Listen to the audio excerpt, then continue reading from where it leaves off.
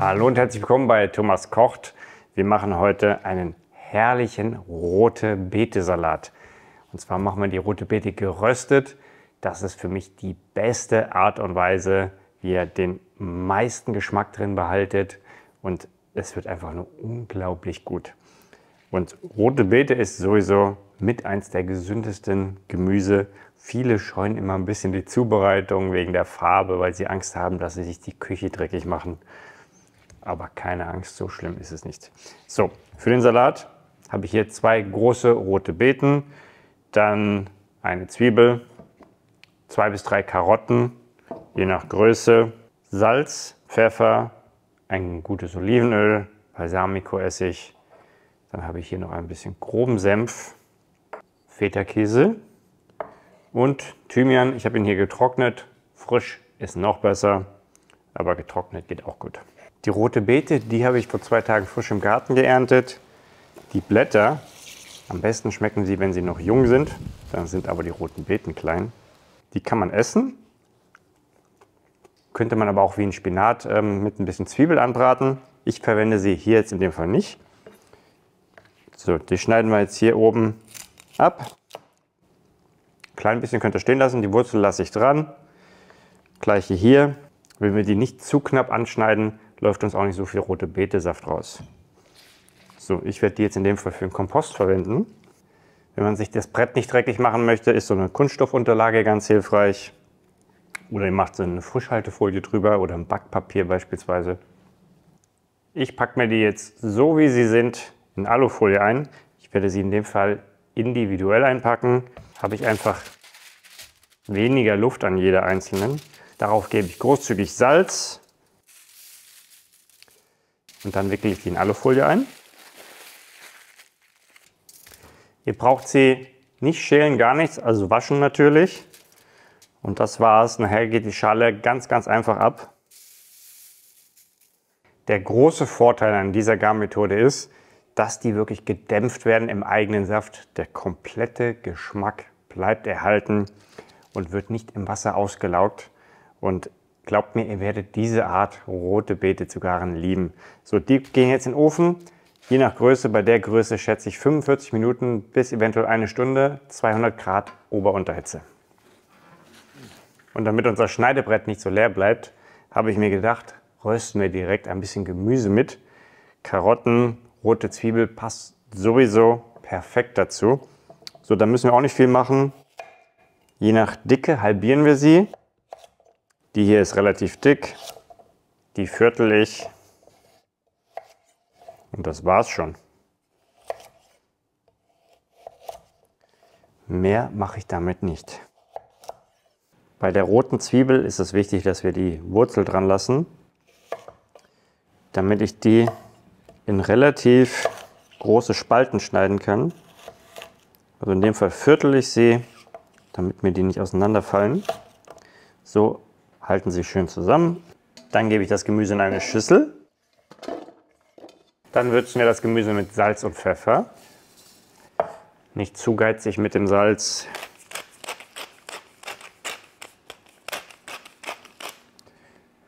bisschen Olivenöl dazu. Unser Thymian. Wenn ihr frischen Thymian nehmt, schmeißt einfach ein paar Zweige mit rein.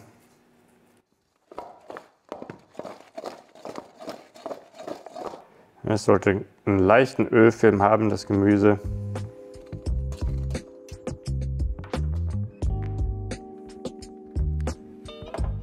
So, meine rote Beete, die hat jetzt schon ein bisschen Vorsprung. Auf das gleiche Blech gebe ich jetzt mein restliches Gemüse.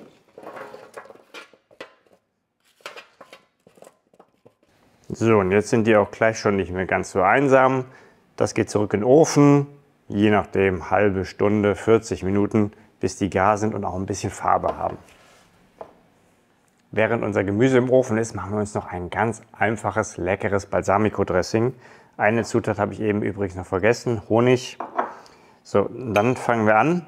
Und das ist wichtig, die Reihenfolge. Wir nehmen erst den Essig. Ich nehme hier zwei gute Esslöffel. Als Faustregel kann man immer sagen, ein Teil Essig, drei Teile Öl. Manche nehmen zwei Teile Öl. Ich habe bisher immer drei meistens genommen. So, daran gehen jetzt erstmal die Gewürze, Salz. Und seid hier nicht zu geizig, denn wenn wir das nachher mischen, dann zieht das Gemüse ja noch ein bisschen Salz auf. Pfeffer aus der Mühle. Dann nehme ich in dem Fall einen groben Senf, einen guten Teelöffel. Senf hat hier zwei Funktionen. Einmal Geschmack natürlich und gleichzeitig ist es auch ein Emulgator. Damit wir jetzt auch ein bisschen Süße haben, nehme ich in dem Fall einen guten Teelöffel Honig. Rote Beete und Süße passt immer sehr, sehr gut zusammen. Ja, ihr könntet hier auch einen Ahornsirup nehmen beispielsweise, was eben eure bevorzugte Süße ist. So, und jetzt ist wichtig, dass wir das Öl hier noch nicht reinmachen, denn die Gewürze, also speziell auch das Salz, wird sich sehr schwer lösen, sobald das Öl drin ist. Deswegen erstmal nur mit dem Essig ein bisschen schütteln, bis das Salz aufgelöst ist. Oder Zucker, falls ihr Zucker verwendet. Auch der löst sich in Öl nicht wirklich gut. So, und erst jetzt gebe ich mein Öl dazu, Olivenöl in dem Fall. Dann nehme ich 6 Esslöffel. So, Deckel wieder drauf. Schüttel, schüttel, schüttel. So, und wie man hier sehen kann, es ist relativ dickflüssig. Für den Salat finde ich, ist das perfekt. Das haftet dann schön an. Wenn ihr es für einen Blattsalat nehmen wollt oder für einen gemischten Salat, könnt ihr es einfach verdünnen. Entweder mit ein bisschen Brühe, also Gemüsebrühe beispielsweise, oder ihr macht einfach einen Schluck Wasser mit dran. Bis ihr eben die gewünschte Konsistenz erreicht. Aber das ist wunderbar emulgiert. So, mein Gemüse ist soweit. So, das soll schön angeröstet sein. Das ist hier von der Unterseite, hat er schon eine schöne Farbe. Die Zwiebeln sind auch schön karamellisiert, lecker. So darf das aussehen. So, in einer perfekten Welt wäre die rote Beete jetzt gleichzeitig gar. Die braucht aber mindestens noch 10, 15 Minuten. Also wenn ihr mit einem Messer reinstecht, soll die weich reingehen und weich wieder rauskommen. Tut sie das nicht, lasst sie noch länger drin. Also die war jetzt sowieso erst 50 Minuten drin. Deswegen packe ich mein Gemüse jetzt in einer Schüssel. Da muss es nachher sowieso noch mal hin. Dann nehme ich das Blech hier, das Backpapier mal runter. Und die gehen zurück in den Ofen, bis sie gar sind. So. Jetzt sind meine roten Beeten auch gar. Eine Stunde 15 hat es am Ende gedauert. So, die können wir dann auch einfach auspacken.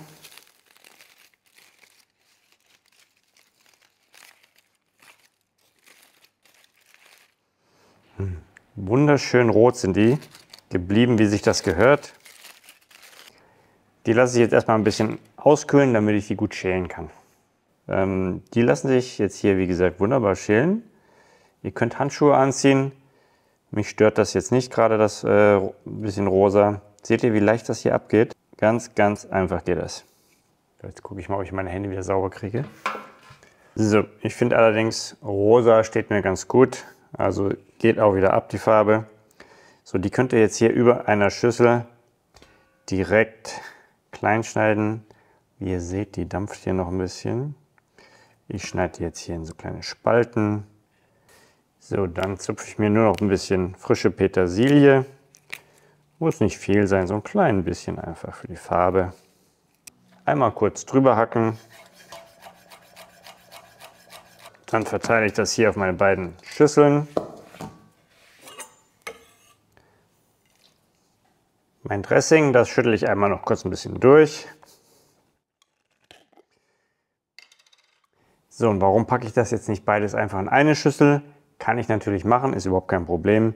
Ich möchte allerdings nicht, dass der komplette Salat gleich gefärbt ist, damit ein bisschen Kontrast da ist. Das ist einfach eine optische Sache. Deswegen mariniere ich die jetzt separat. Mmh. Das ist so lecker.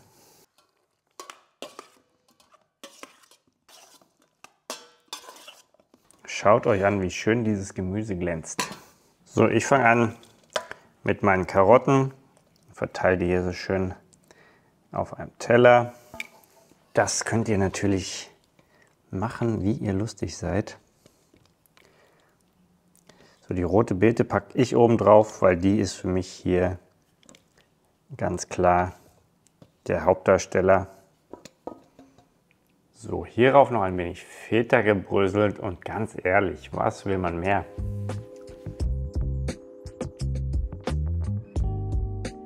So meine Lieben, ich freue mich riesig auf diesen Salat. Das sieht sowas von lecker aus. Ich weiß nicht, ob das in der Kamera rüberkommt. Und ich habe eine Sache vergessen, die würde wunderbar noch dazu passen. Ist so schon genial, aber zum Beispiel ein paar getoastete Walnüsse oder Kürbiskerne würden das wirklich noch äh, das i-Tüpfelchen aufsetzen. So, schauen wir mal. Die rote Beete. Mm. Die Süße der roten Beete bleibt durch das Rösten wunderbar erhalten. Passt perfekt mit dem Feta-Käse. Ist einfach nur lecker. Und mit dem Honig und Balsamico eine wirklich perfekte Mischung, finde ich. Mm.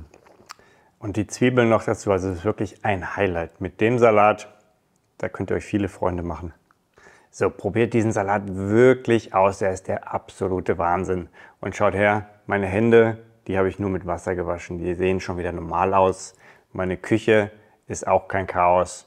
Es ist also wirklich einfach unproblematisch. Gesund, lecker. Was will man mehr von einem Salat? Und der macht auch satt. So, schreibt mir gerne in die Kommentare, wenn ihr es nachgekocht habt. Solltet ihr noch keine Abonnenten sein, freue ich mich riesig, wenn ihr meinen Kanal abonniert. Das kostet natürlich auch nichts. Und über euer Feedback freue ich mich natürlich auch jedes Mal. So, damit sage ich Tschüss, viel Spaß, bis zum nächsten Mal. Ciao, ciao. Und schaut euch gerne auch mal die Videos in der Empfehlung oben an.